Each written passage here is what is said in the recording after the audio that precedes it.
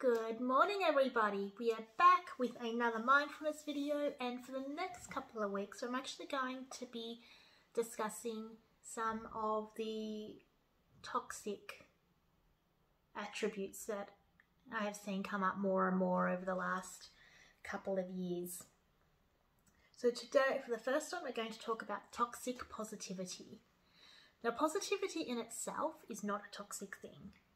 But like with anything, anything in excess becomes toxic.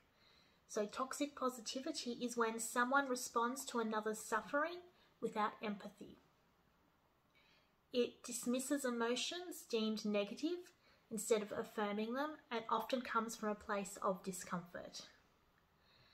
It's it, it is often not meant to cause harm and often comes up when we don't know what to say or how to react, and we just want to make someone feel better.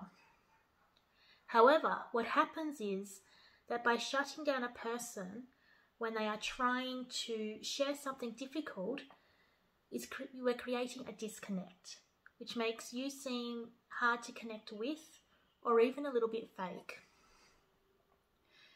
By squashing and not acknowledging these negative emotions and constantly being positive, well, it, like anything, it takes a toll on your mental health. With research showing, by avoiding those feelings, you'll feel them more strongly and far worse later on.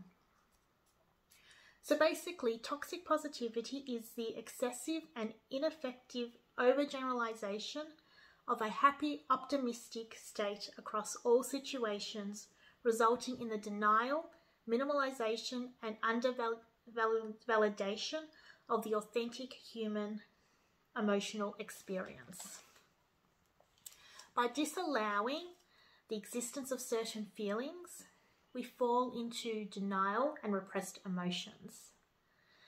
Signs of toxic positivity are hiding or masking your true feelings, trying to get on with it by dismissing or repressing emotions, minimizing other people's experiences with feel good quotes, trying to give someone perspective instead of validation of their emotional experience, shaming or chastising others for expressing frustration or anything other than with anything other than positivity.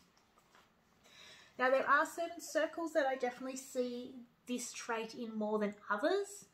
There are certain high control groups that definitely use toxic positivity. And there are certain business models that also definitely use toxic positivity such as those network marketing companies. I find they are rife with it. Um, so it's like as I said at the beginning it's not that positivity in itself is toxic. It's not but everything in moderation and we are we are humans, we are flawed. We will feel any everything from everything on the spectrum from pure joy and happiness all the way through to anger and everything in between. That is what makes the human experience the human experience. And no feeling is invalid. It is what you feel at that moment in time. So, which with everything else, it is just so yes, we, we use positivity and we utilize positivity to help us in our daily lives, but that doesn't mean to exclude when you're feeling down or out. That just means taking the time to actually assess why you're feeling that way and, find, and figuring out what the root cause is to actually get to the bottom of why it is you're feeling anxious or frustrated or or depressed or anything in between. So that's just a little bit about toxic positivity. We will be back next week with another video.